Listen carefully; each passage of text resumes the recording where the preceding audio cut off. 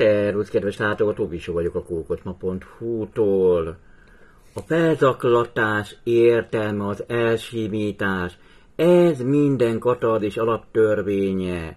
Katarzis nélkül pedig csak ideig, óráig él meg a művészet, írta 1976-ban Vántus István zeneszerző, a Szegedi Konzervatórium professzora,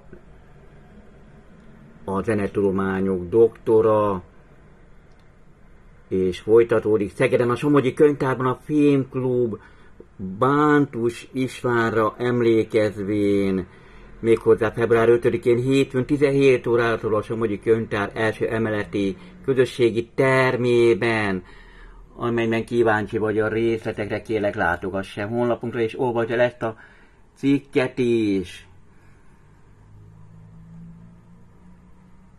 Szeretettel várnak erre az eseményre a könyvtár dolgozói és a szervezők. Szervusz!